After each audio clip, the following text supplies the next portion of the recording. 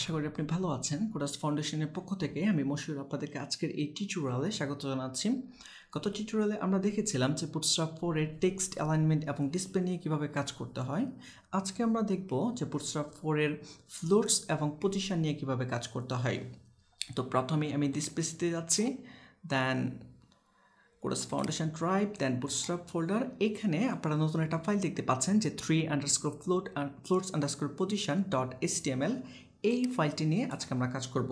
তো আমি সিলেক্ট করে কন্ট্রোল সি দিয়ে জাস্ট কপি করলাম। কপি করার পর এখন আমি চলে যাব হচ্ছে সি ড্রাইভ ডিসপ্লেসি থেকে C drive then users then মসি then projects folder then bootstrap then এখানে আমি পেস্ট করে দিচ্ছি। তো এখন এই ফাইলের যে আউটপুটটা এই আউটপুটটা আমি বা স্ট্রাকচারটা আমি দেখতে যাচ্ছি হচ্ছে অ্যাটম এডিটরে তো আমি সিম্পলি অ্যাটম এডিটর ওপেন করব। অ্যাটম এডিটর দেখতে পাচ্ছেন এখানে। তো আমি এখানে ফাইলটা জাস্ট ডাবল ক্লিক করে ওপেন করব। তো এখানে আপনারা স্ট্রাকচার দেখতে পাচ্ছেন। আমি স্ট্রাকচারে যদি আউটপুটটা দেখতে চান, তাহলে এই প্যাকেজেস থেকে Atom live server then start server এখানে ক্লিক করব। যখন আপনি ক্লিক করবেন মজিলা ফায়ারফক্সে এই স্ট্রাকচারের আউটপুটটা ওপেন হবে। তো আমাদের ব্রাউজার ওপেন হয়ে গেছে। আপনারা তিনটি ফাইল দেখতে পাচ্ছেন। আমরা three underscore floors underscore position dot HTML এই ফাইলটির আউটপুট দেখতে যাচ্ছি। জাস্ট এখানে ক্লিক করব। ক্লিক করার পর এই যে আউটপুটটা আমরা এখানে দেখতে পাচ্ছি। তো এই উইন্ডোটাকে আমি একটু ছোট করে নিচ্ছি। ছোট করার পর দেন ড্রাগ অ্যান্ড ড্রপ করে ডান দিকে ছেড়ে দিচ্ছি এবং এই উইন্ডোটার পাশে অ্যাড করে দিচ্ছি। এখন এডিটরের যে উইন্ডোটা এটা আমি একটু বড় করতেছি। আর মজিলা ফায়ারফক্সের যে উইন্ডোটা এটা একটু ছোটো করে নিচ্ছি। তারপর আপনারা যে লেখাগুলো যেন দেখতে পারেন, আমি ভিউ থেকে টগল সফটওয়্যার এটাও ক্লিক করে নিচ্ছি। তো এখানে আপনারা বেসিক যে স্ট্রাকচার বুটস্ট্রাপ নিয়ে কাজ করার জন্য এগুলো আপনারা জানেন, আমি আর এক্সপ্লেন করতেছি না।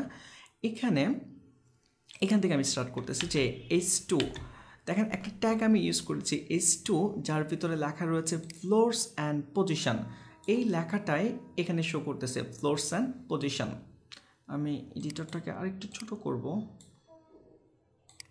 এবং আপনারা ফ্লোরস অ্যান্ড পজিশনের পেছনে একটা ব্যাকগ্রাউন্ড কালার দেখতে পাচ্ছেন এবং লেখাটা মাঝখানে রয়েছে স্ক্রিনের কীভাবে আমি নিয়ে আসছি? এখানে ক্লাসের ভিতরে রয়েছে টেক্সট হাইফেন সেন্টার এই ক্লাসের মাধ্যমে এটা মাঝখানে চলে আসছে এবং পিজি হাইফেন সাকসেস এই ক্লাসটির মাধ্যমে ব্যাকগ্রাউন্ডে কালার চলে আসছে। তো আশা করি এই ব্যাপারটা আপনারা জানেন অলরেডি তো এরপরে আপনি ডিপ দেখতে পাচ্ছেন, এটা অলরেডি জানেন যে কন্টেনার ক্লাস কী কাজ করে, বামে টানে একটু মার্জিন তৈরি করার জন্য। এই ঠিক নিচে ফ্লোটস এখান থেকে আমরা শুরু করতেছি। তো এখানে আপনারা তিনটা ডেক ডিপ দেখতে পাচ্ছেন float left float right float none এবং এই তিনটার আউটপুট এখানে তিনটা লেখা আপনারা দেখতে পাচ্ছেন। তো প্রথম টিপের মাঝে আমি এখানে একটা ক্লাস ইউজ করতেছি বুটস্ট্রাপের ইকুয়াল দি ডাবল কোটেশন সে ক্লাসের নাম হচ্ছে ফ্লোট হাইফেন লেফট এবং দেখেন, এটা যখন আমি কন্ট্রোল অ্যাজ দিয়ে সেভ দিব, আপনারা এই যে ফ্লোট লেফট লেখাটা ডান দিকে দেখতে পাচ্ছেন, এখানে এটা একদম বাম পাশে সেট হয়ে যাবে। এটা অলরেডি বাম পাশে আছে এবং এখানে দেখবে যে এই নিচে এই যে মাঝখানে একটু গ্যাপ রয়েছে, এই গ্যাপটা থাকবে না। এই গ্যাপটা কমে যাবে।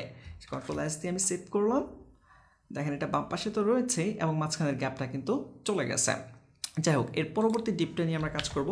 এখানে আমি ক্লাস ইউজ করতেছি ইকুয়াল ডাবল কোটেশন এখানে লিখে দিচ্ছি ফ্লোট অ্যাপেল ও টি দেন রাইট কন্ট্রোল অ্যাস দিয়ে সেভ করব।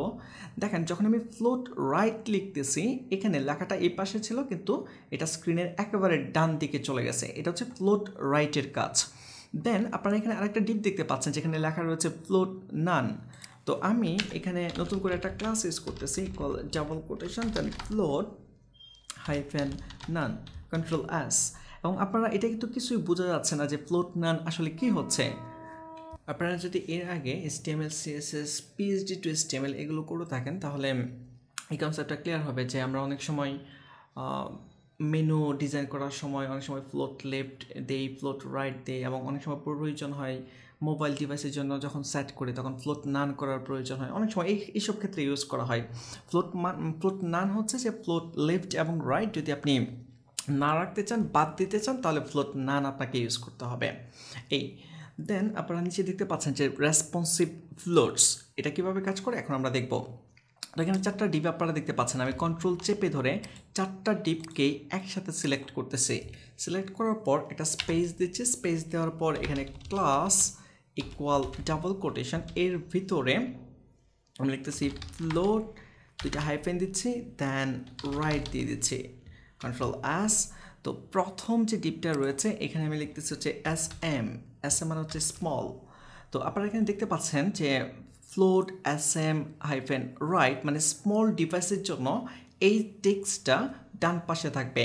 তো আমাদের ফ্লোট রাইট এই যে টেক্সটটা এটা কিন্তু এখনও ডান পাশে নেই, এটা বাম পাশেই রয়েছে কারণ আমরা এক্সট্রা স্মল ডিভাইসে রয়েছে। তো স্মল ডিভাইসে যদি আপনি যেতে চান, তাহলে আপনাকে পাঁচশো ছিয়াত্তর পিক্সেলে যেতে হবে। এখানে কন্ট্রোল শিফট এম প্রেস করে আমি মোজিলা ফায়ারফক্সের যে রেসপন্সিভ চেক করার অপশনটা এটাতে, এটা নিয়ে আসলাম। তো এখানে আমরা পাঁচশো ছিয়াত্তর পিক্সেলে যাব। পাঁচশো ছিয়াত্তর দেন ইন্টার দেখেন, আপনি যে লেখাটা ছিল আমাদের, লেখাটা কিন্তু ডান দিকে চলে গেছে। এই যে float right on small or wider আশা করি আপনাদের কনসেপ্টটা ক্লিয়ার হয়েছে। তো এরপরের যে ডিপটা রয়েছে, এখানে আমি ফ্লোট এমটি হাইফেন রাইট এটা ইউজ করতেছি কন্ট্রোল অ্যাস তো আমরা জানি যে মিডিয়াম ডিভাইস স্টার্ট হয়ে হচ্ছে, এটা এখন থেকে বাম দিকে কিন্তু রয়েছে, এটা এই যে এখনও মিডিয়াম ডিভাইসের জন্য বাম দিকে রয়েছে, তো এটা স্টার্ট হবে হচ্ছে সাতশো আটষট্টি পিক্সেল থেকে ইন্টার ডান এবং সাতশো আটষট্টি পিক্সেলের দিকের জন্য দেন আপনি ডান দিকে স্ক্রল করে এটা কিন্তু ডানে চলে গেছে। তারপর আমরা নিব হচ্ছে লার্জ ডিভাইসের জন্য এলজি কন্ট্রোল অ্যাস আর লার্জ ডিভাইস ডিভাইস স্টার্ট হয়ে হচ্ছে নয়শো বিরানব্বই থেকে বারোশো পর্যন্ত। তো নয়শো বিরানব্বই আমরা যাচ্ছি দেন ইন্টার এখন আপনি ডান দিকে স্ক্রল করেন, এটাও কিন্তু ডান দিকে চলে গেছে। এরপরের যে লাস্টের ডিপটা ছিল, এখানে আমরা ইউজ করতেছি XL float hyphen XL hyphen right মানে এক্সট্রা লার্জ ডিভাইসগুলোতে এটা একদম ডান দিকে থাকবে। আর এক্সট্রা লার্জ ডিভাইসগুলো হচ্ছে বারোশো পিক্সেলের উপরের যে ডিভাইসগুলো রয়েছে। তো স্টার্ট হবে বারোশো পিক্সেল থেকে। তো বারোশো দেন ইন্টার এখন আপনি যদি ডান দিকে খেয়াল করেন, লেখাটা কিন্তু float right on large or wider large ডিভাইসের জন্য আচ্ছা লার্জ ডিভাইস স্টার্ট হবে float hyphen LG hyphen right control S আমাদের লার্জ ডিভাইসের জন্য এখানে এই যে ডান দিকে চলে আসছে, ঠিক আছে? তো আশা করি আপনারা বুঝতে পেরেছেন যে স্মল মিডিয়াম এবং লার্জ এবং এক্সট্রা লার্জ ডিভাইসগুলোতে ফ্লোট কীভাবে কাজ করে। তো ঠিক সেমভাবে আপনি যদি ফ্লোট লেফট এই স্মল মিডিয়াম লার্জ এবং এক্সট্রা লার্জ ডিভাইসের জন্য এখানে সেট করতে পারতেছেন। তো আমি এখানে ডিরেক্টলি লিখে ফেলতেছি। চারটা একসাথে সিলেক্ট করে ক্লাস ইকুয়াল ডাবল কোটেশন দেন float F L O F T দেন দেখতেছি একটা ড্যাশ দিচ্ছে হাইফেন দিচ্ছি দেন হচ্ছে লিখে দিচ্ছি লেফট প্রথমটা হচ্ছে স্মল ডিভাইসের জন্য এস এম দেন দ্বিতীয়টা হচ্ছে মিডিয়াম তৃতীয়টা হচ্ছে লার্জ দেন চার নাম্বারটা হচ্ছে extra large XL control S এবং আপনারা দেখেন যে এটা কিন্তু বাম দিকে রয়েছে। সবগুলো লেখা বাম দিকে শো করতেছে। তারপর এই ঠিক নিচে আপনারা দেখতে পাচ্ছেন যে ফ্লোট নান ঠিক আছে? তো আপনার যদি কখনো প্রয়োজন হয় যে আপনি ফ্লোট করা রয়েছে ফ্লোট বাদ দিতে যাচ্ছেন, তখন ফ্লোট নান করার প্রয়োজন হবে। তো এখানে আমি ক্লাস ইউজ করতেছি ইকুয়াল ডাবল কোটেশন দেন float F L O R T দেন হাইফেন হাইফেন দেন লিখে দিচ্ছি নান তো এখন আমি একটা একটা করে লিখে দিচ্ছি। প্রথমটা হচ্ছে স্মল ডিভাইস দ্বিতীয়টা হচ্ছে মিডিয়াম ডিভাইস তৃতীয়টা হচ্ছে লার্জ ডিভাইস এবং চতুর্থটা হচ্ছে এক্সেল ডিভাইস তো আশা করি আপনারা এই অপশনগুলো মানে এই ক্লাসগুলো ক্লিয়ার যে কীভাবে ইউজ করতে হবে। মনে রাখবেন যে বুটস্ট্রাপের রেসপন্সিভ ডিভাইসগুলো স্টার্ট হয় পাঁচশো ছিয়াত্তর থেকে সাতশো আটষট্টির আগ পর্যন্ত বলা হয় স্মল ডিভাইস সাতশো আটষট্টি থেকে নয়শো বিরানব্বইয়ের আগ পর্যন্ত বলা হয় মিডিয়াম ডিভাইস আর নয়শো বিরানব্বই থেকে বারোশো পিক্সেলের আগ পর্যন্ত বলা হয় লার্জ ডিভাইস আর বারোশো পিক্সেলের উপরে যেই ডিভাইসগুলো রয়েছে, এগুলো হচ্ছে এক্সট্রা লার্জ তো এই চিন্তাটা মাথায় নিয়ে যদি আপনি কাজ করেন, তাহলে খুব ইজি ইজি লাগবে। তো আশা করি আপনারা বুঝতে পেরেছেন। আমি স্ক্রল করে নিচে যাচ্ছি এবং মজিলা ফায়ারফক্সের যে রেসপন্সিভ অপশনটা এটাও আমি বাদ দিয়ে দিচ্ছি এখন। স্ক্রল ডাউন করতেছি। তো এখানে আপনারা দেখতে পাচ্ছেন যে আমি একটা ডিপ নিয়েছি। এর ভিতরে দুইটা বাটন রয়েছে। তো এই দুইটা বাটন হচ্ছে এই যে ফ্লোট লেফট ফ্লোট রাইট দুইটা বাটন এখানে আমরা দেখতে পাচ্ছি। তো আমি এই বাটনগুলোকে একটু ডিজাইন করব। দুইটা বাটনেই আমি ক্লাস সেট করব।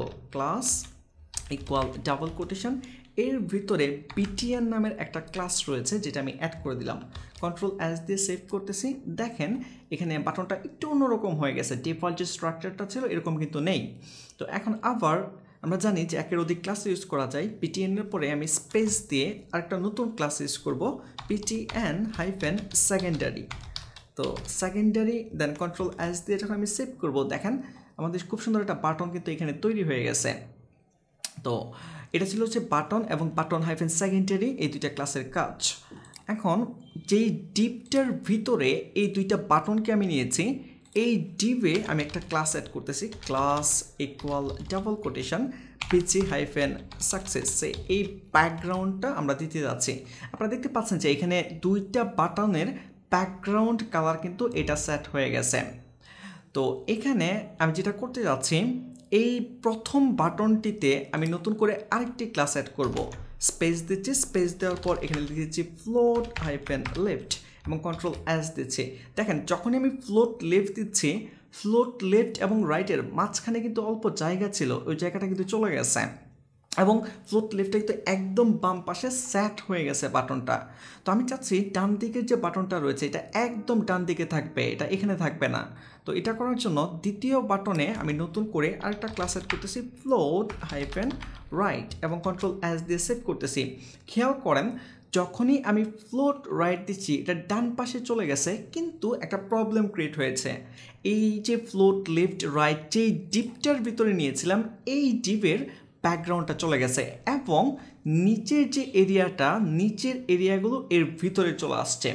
তো এই প্রবলেমটা আমাদেরকে সলভ করতে হবে। কীভাবে সলভ করব?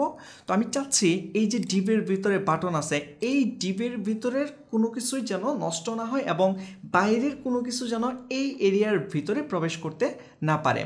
আর এইটা করার জন্য যেটা করতে হবে বিজি সাকসেসের পর আমি একটা স্পেস দিচ্ছি, নতুন করে একটা ক্লাস ইউজ করব। ক্লাসের নাম হচ্ছে ক্লিয়ার ফিক্স কন্ট্রোল অ্যাস দিয়ে সেভ করেন। দেখেন ব্যাকগ্রাউন্ড আগের মতো চলে আসছে এবং নিচের যে এরিয়াটা ছিল, এটার কিন্তু এটার ভিতরে প্রবেশ করতে পারতেছে না। তো আশা করি আপনারা এই ব্যাপারটা ক্লিয়ার দেন স্ক্রল ডাউন করতেছি। এখানে আপনারা এই থ্রি দেখতে পাচ্ছেন, যেটার ভিতরে লেখা রয়েছে ফিক্সড টপ তো এবং এর আউটপুটটা আপনারা এখানে দেখতে পাচ্ছেন। তো আমি এখানে একটি ক্লাস ইউজ করব এখন। এস থ্রি ট্যাগের ভিতরে আমি স্পেস দিচ্ছি দেন class equal double quotation fixed hyphen top এবং কন্ট্রোল অ্যাজ দিয়ে সেভ করতেছি। দেখেন, যখনই আমি ফিক্সড টপ এই ক্লাসটা অ্যাড করেছি, এই হিস্ট্রির ভিতরে যে লেখাগুলো ছিল একদম কিন্তু উপরে চলে গেছে এবং এটা ফিক্সড হয়ে গেছে। এটা কিন্তু নাড়াচাড়া করতেছে না, একদম ফিক্সড এটা ছিল ফিক্সড টপের কাজ। তারপর এখানে আপনারা কিছু পিট্যাগ দেখতে পাচ্ছেন, যেটার আউটপুট এখানে আমরা দেখতে পাচ্ছি। আমি একটু স্ক্রল ডাউন করব। এখন আমরা দেখব যে স্টিকি কি। তো এখানে আপনি আরেকটা ট্যাগ দেখতে পাচ্ছেন যে এস থ্রি এবং এটার ভিতরে লেখা রয়েছে স্টিকি এটা হচ্ছে সেই আউটপুট তো এখানে এস থ্রি ট্যাগের ভিতরে আমি নতুন করে একটা ক্লাস ইউজ করতেছি ইকুয়াল ডাবল কোটেশন তারপর এর ভিতরে স্টিকি হাইফেন টপ এবং কন্ট্রোল অ্যাজ দিয়ে সেভ করতেছি। দেখেন, যখনই আমি স্টিকি টপ এই ক্লাসটি আমরা ইউজ করতেছি, তো আপনি যদি একেবারে এই ডান দিকে খেয়াল করেন, এই যে স্টিকি লেখাটা আমি একটু স্ক্রল ডাউন করতেছি স্ক্রল ডাউন করার পর আপনারা খেয়াল করেন যে স্টিকি লেখাটা কিন্তু ফিক্স টপের নিচে একেবারে সেট হয়ে গেছে। তো আপনারা একটু বুঝতে সমস্যা হচ্ছে, কারণ ফিক্স টপটা এখানে ফিক্সড হয়ে আছে। যাই হোক, ওটা আমি বাদ দিচ্ছি। আমি এখান থেকে ফিক্স টপ ক্লাসটা আপাতত বাদ দিয়ে দিচ্ছি এবং এইচ থ্রিটাও বাদ হয়ে গেছে H three control S fix top এটা আগের জায়গায় চলে আসছে, এখানে। এখন খেয়াল করেন, এই যে আমি স্ক্রল ডাউন করতেছি স্টিকি লেখাটা কিন্তু একদম স্টিক হয়ে গেছে। তো এটা ইউজ করা হয় নেভিগেশনের জন্য ন্যাপবারগুলোর জন্য। আমরা যখন একটা ওয়েবসাইটে মেনু তৈরি করি, উপরে যেন মেনুটা একেবারে স্টপ হয়ে যায় স্ক্রল করার পর বা উপর থেকে যেন আবার চলে আসে। যাই হোক, তো এখানে স্টিকি টপ আপনি এই ক্লাসটি ইউজ করতে পারেন। আমি ফিক্স টপ এই ক্লাসটি অ্যাড করে দিচ্ছি। Class equal double quotation fixed hyphen top control S দিয়ে সেট করতেছি, এটা উপরে চলে যাবে। তারপর খেয়াল করেন আমরা এরপর পি ট্যাগ দেখতে পাচ্ছেন আপনারা, আমি স্ক্রল করে আরও নিচে যাচ্ছি। এখানে আপনারা নতুন একটি ট্যাগ দেখতে পাচ্ছেন যে এস থ্রি এবং এর ভিতরে ফিক্স বটম লেখা রয়েছে। আমি একটু স্ক্রল ডাউন করে নিচে যাচ্ছি। নিচে আপনারা দেখতে পাচ্ছেন একটা লেখা ফিক্সড বটন বটম এখানে আমি নতুন করে একটা ক্লাস ইউজ করতেছি call double quotation fixed hyphen bottom control S দিয়ে সেভ করতেছি। যখন আমি ফিক্সড বটম ক্লাসটা অ্যাড করেছি, দেখেন একেবারে নিচের দিকে ফিক্সড বটম লেখাটা অ্যাড হয়ে গেছে। মানে পুরো স্ক্রিনের একেবারে নিচে বডির নিচের দিকে স্টিক হয়ে গেছে মানে একদম ফিক্সড হয়ে গেছে। তো আশা করি আপনারা বুঝতে পেরেছেন যে ক্লাসগুলো আমি দেখিয়েছি। তো আজকে টিউটোরিয়াল এই পর্যন্তই। নেক্সট টিউটোরিয়ালে আরও অনেক মজার জিনিস আমরা দেখব। বাসায় খুব ভালোভাবে প্র্যাকটিস করবেন বুটস্ট্রাপ খুবই মজার জিনিস। যদি শিখেন এবং প্র্যাকটিস করেন, খুবই ভালো লাগবে। অনেক সুন্দর প্রজেক্ট আমরা তৈরি করতে পারব এবং মার্কেট প্লেসে এর উপরে অনেক ভালো ভালো কাজ রয়েছে। তো আমরা খুব শীঘ্রই এগুলো দেখব। সবাই ভালো থাকবেন, ধন্যবাদ।